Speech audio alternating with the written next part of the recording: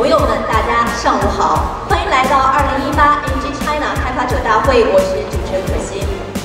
在这个特殊的日子里，我们齐聚一堂，一同享受这场汇集谷歌、阿里、VMware 全球顶级技术专家的饕餮盛宴。